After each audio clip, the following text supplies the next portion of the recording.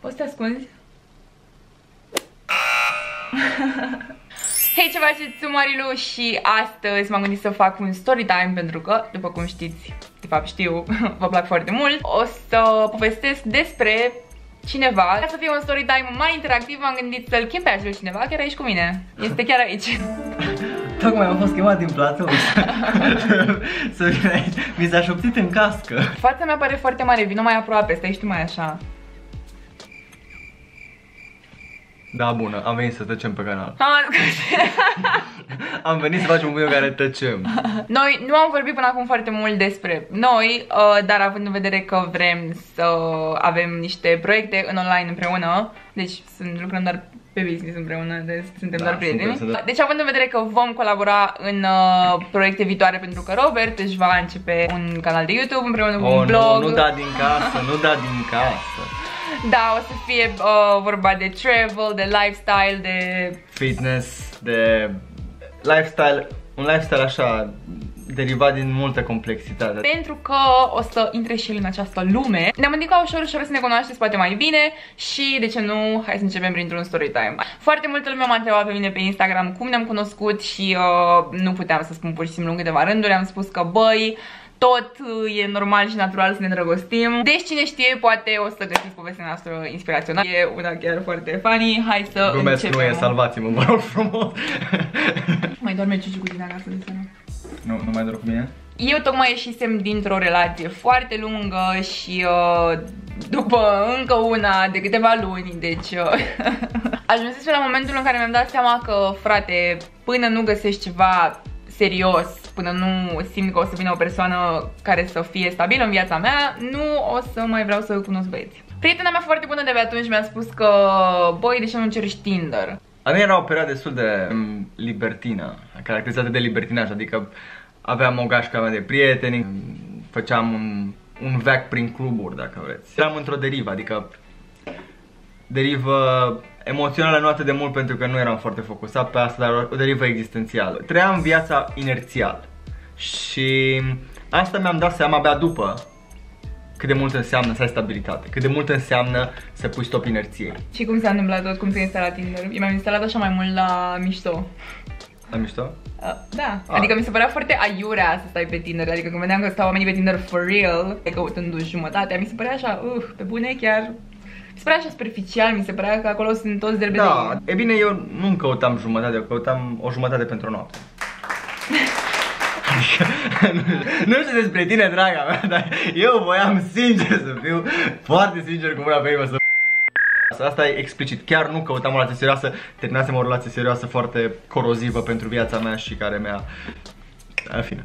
Mai aveam niște prieteni care și făcuseră Tinder și aveam aceleași tipe cu care vorbeam Pe și... bune? Da, erau, erau, aveam, aveam meciuri uh, identice și discutam cu același tip amândoi și făceam mișto. După ce mi-am pus aplicația asta, am văzut că foarte mulți tipi au început deja să-mi scrie Și eram ceva de genul, bă, având în vedere că tipii ăștia văd poze cu mine, evident, le, le sunt și eu pe alea cele mai bune din- Normal, alea din din, Paris, în hainele de din- biserică, care mergeai duminica frumos, te rugai. Da, și îmi dădeam seama că fiecare tip care îmi scrie, evident, pe baza aspectului îmi scria, că altfel dacă îmi puneam o poză Cu tine dimineața, nu- nici nu se punea problema. Așa, ce rău ești. Cu dragoste rău. Trebuia să ies cu vreo patru tipi. Uh, N-am mai apucat să ies cu ăștia patru Că mereu găseam o scuză și mi-am dat seama că totuși nu sunt ceea ce căutam. Prima mea întâlnire de pe Tinder Am ieșit cu un tip uh, Am ieșit la întâlnire undeva la o cafenea Și mi-am dat seama că nu sunt interesat. Ideea e de fapt cine era tipul acesta Pentru că tipul ăsta va mai interveni în povestea noastră. Ei, După ce nu mi-a plăcut tipul ăla uh, Mi-a scris un tip cu barbă și mustață, dar nu tu. La câteva zile după mi-a scris și Robert. Și am pus în balanță lucrurile și mi-am dat seama că totuși vreau să ies cu Robert, pentru că Robert, Robert a avut cea mai mișto replică de agățat pe care am auzit-o de la un tip în, via- în toată viața mea și am cunoscut foarte mulți tipi. Pe ea o cheamă Marilu, nu? Și am spus că da, clar suntem sortiți unul pentru altul, suntem suflet de pereche pentru că, și vrei să știi de ce? Dacă ne întrebat de ce, pentru că sunt un șaormar iluminat. Șaormar iluminat. Marilu. Mai să Eram beat și plictisit într-o seară. Robert. Chiar nu. Dar ți-am spus că eu scriam chestia asta doar când mă plictiseam, adică nu prea stăteam pe Tinder așa sistematic. Ai bine, te-ai plictisit și mi-ai scris o chestie chiar inteligentă față de ce scriu de obicei tipic când se îmbată și trimit chestii. Îi purtam niște conversații cu Robert foarte interesante, îmi plăcea că avea un vocabular foarte elevat. Am dat seama că e un tip citit, e un tip inteligent și chiar aveam nevoie de așa ceva pentru că eram în punctul în care chiar trebuia să devin, uh, până la urmă, o femeie și nu mai putem așa chiar să stau cu orice Bine, asta, asta spui acum retrospectiv, da, adică spun acum că îmi dau seama, dar atunci chiar nu știam, dar după un timp mi-am dat seama că exact de asta avem nevoie, pentru că dacă ah. mai pierdeam timpul cu nu știu purifici... Creierul ia deciziile pentru noi înainte ca noi să ne dăm seama de toți factorii și la nivel conștient suntem informați abia după. Cum se poate ca decizia de a mă fi ales pe mine, dintre mai multe alternative, să fi fost o computație a creierului tău care lua în calcul da, variabile da, de care da, tu da. nu erai conștientă. Mamă, nu, nu-mi dau seama că vreau pe cineva serios cu care să mă maturizez. La mine s-a întâmplat în ce privește stabilitatea. Nu știam că vreau asta. Uh-huh. Și abia după ce am obținut asta, mi-am seama, Doamne, câtă nevoie aveam de asta, știi? Mm-hmm. Dar da. conștient nu știam. Cu o săptămână înainte să-l cunosc pe Robert, am ieșit în club cu o prietenă și uh, m-am întâlnit, nu știu cum, prin ap- deci au venit doi prieteni de-a lui Robert la mine în club în acea seară ca să se bage în seamă cu mine și cu prietena aia, dar ei neștiind de mine că eu vorbesc cu Robert. Au spus că, vai, hai să ne distrăm, hai să facem nu știu ce împreună. Am început să vorbim dacă avem iubiți, uh, discuțiile astea generale de relații. De... Și când le-am spus numele meu, au zis că, tu ești Mari Lu, cumva vorbești cu un tip Robert care e foarte deștept?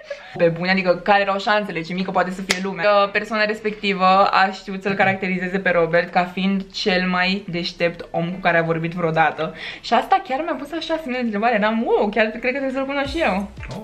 Eu în săptămâna următoare am tot vorbit cu Robert și am, am uh, hotărât să ieșim um, într-o seară în club. M-am dus cu prietena mea în clubul respectiv uh, la o săptămână după. Um, Stai să spun și partea mea de poveste. A, scuze, scuze, da. Eu stau și pentru că puțin de o să mai stau la cămin până ne mutăm împreună. Eram cu gașca mea de prieteni. Vorbisem să mergem cu toții în club.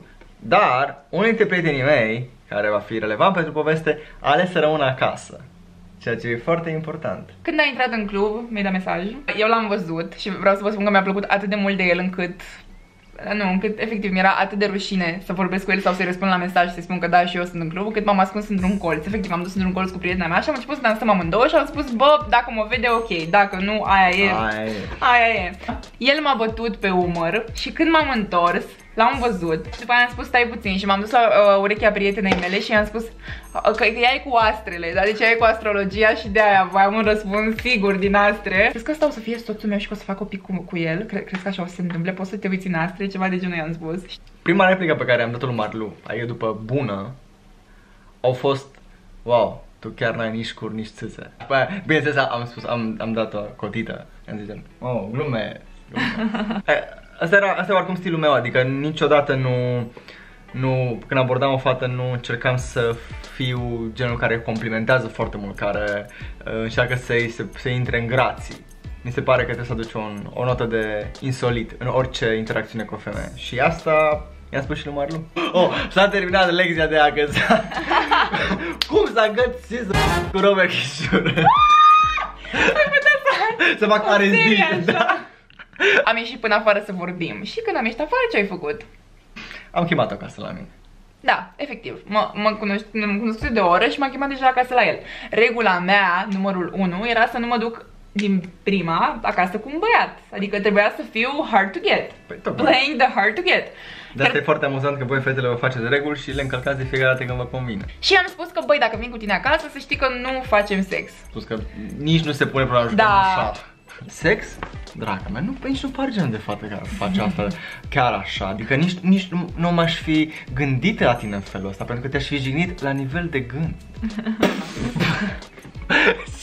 I-am dat așa o vrăjeală de aia cât casa. Păi și după ce mi-a spus chestia asta, că dacă chiar nu pare de fată, am zis că, a, ok, atunci oh. mergem, mergem, mergem, ne ducem. Gata, mai convins complet, nu mai e niciun dubiu. Eu nici măcar n-am putut să cheme un taxi, m-a dus pe jos acasă, că voia să facă economii. Cum am urcat în camera lui, zici că era ceva la hotel, era totul aranjat, deci parcă știa al naibii că o să vină cu cineva acasă. Aveam mai multe variante cu care era să mă întorc acasă. Dar mm. s-a întâmplat cea mai bună variantă. și cum am intrat în camera lui, mi-a spus că băi, trebuie neapărat să mergem undeva. M-a dus în cameră la un băiat pe care l-am recunoscut după chelie. Care dormea. Și era acel Adi cu care eu ieșisem, primul tip cu care ieșisem eu de pe Tinder. Deci ei erau foarte buni prieteni și sunt Bun, foarte buni prieteni, de fapt. Hei! Te pupă, fratele. și probabil voia să-i demonstreze că băi, uite, eu pot să ajung cu ea acasă. Nu s-a întâmplat nimic. Doar am stat, am vorbit pentru că eu nu mai știam cum să ajung mai repede acasă, pentru că din nou acel gând de nu, nu, nu, trebuie să mă ofer, trebuie să mă ofer greu, uh, a intervenit. Uh, la început nu ne gândeam că, adică eu cel puțin eram foarte into this, adică eu chiar credeam că o să fie, mamă, îmi imaginam deja copii, nu știu ce. Da, am, am luat-o foarte, foarte light, adică îmi jucam șansele pe mai multe terenuri, cum ar veni. Abia și cred că dacă ar fi să dau un sfat băieților și și fetelor până la urmă, ar fi să facă asta. Pentru că pentru că așa îți dai seama de fapt ce vrei. Da, e foarte important. Toată ideea asta de a experimenta, de... Oamenii spun o banalitate, mamă, experimentează să afli. Dar nu se rezumă chiar la asta. Ideea nu e să... Nu numărul contează, ci calitatea experienței. E important să încerci să ai experiențe diverse ca abia după aia să-ți poți creiona un viitor, să-ți poți, să-ți poți vedea ce aștept de la tine și de la ceilalți. Așadar cam așa a fost povestea noastră și a trecut ceva timp de atunci. Cert e că între noi s-au întâmplat foarte multe lucruri și cel mai frumos e că am ajuns la um, acele planuri de oameni mari de viitor, adică acum ne mutăm împreună și uh, de-aia am și foarte multe proiecte pentru, a, pentru atunci când ne mutăm, asta o să se întâmple destul de curând. Persoana potrivită, eu, mie chiar mi s-a confirmat că apare când te aștepți mai puțin nu știu cât, dacă e adevărat sau nu, nu știu dacă persoana potrivită apare când te aștepți mai puțin, adică se poate să fie cineva cu care ai o relație de prietenie sau cunoște mulți ani și să îți dai seama de acel da, Mi se pare așa că de cumva așa o surprindere care stă la baza... Care poate să fie derivată din calitatea experienței, nu neapărat da. din faptul că se întâmplă așa ca o regulă metafizică. Că oamenii, oamenii încearcă și oamenii fac asta adesea, fac ierarhii, fac comparații, fac, nu știu, liste cu pro și contra. Unii au mai mult, alții au mai puțin, dar în momentul în care compar numai anumite aspecte, deja gândești foarte reductiv. Deja ai, ai ratat o grămadă din bogăția experienței cu celălalt. Luați fiecare persoană și încercați să vedeți toată bogăția pe care o puteți crea împreună cu acea persoană interacționând cu ea. Nu vă imaginați că persoana potrivită va fi as la toate capitolele. Nu va fi cea mai bună de toate punctele de vedere, asta e imposibil. E vorba de calibrare mutuală, pentru că altfel nu funcționează. Și dacă nu funcționează, mai bine nu ai, nu? Experiența relației cu tine chiar m-a, chiar m-a maturizat, indirect. Fără să fi vorbit în mod explicit despre asta, știi? Mm. Așadar, noi ne revedem data viitoare. Bine, data viitoare îmi pare rău, dar doar cu mine, pentru că cred că o să le fac un sketch foarte drăguț pe care l-am în cap. Ok, sper că v-a plăcut acest video. Nu uitați să verificați descrierea, să-mi dați follow pe Instagram ca să fiți la curent cu postările mele zilnice, să-i dați follow lui Robert pe Instagram, o să-l găsiți în descriere. Uh, gata, vă pup și ne revedem data viitoare. Uh, sper că v-a inspirat, v-a distrat uh, acest uh, story time. Mm. nu, nu, nu, nu, că am făcut asta, nu e ok. Asta, asta este nu, n-am zis, nu e ok. Stai, mai faci mă.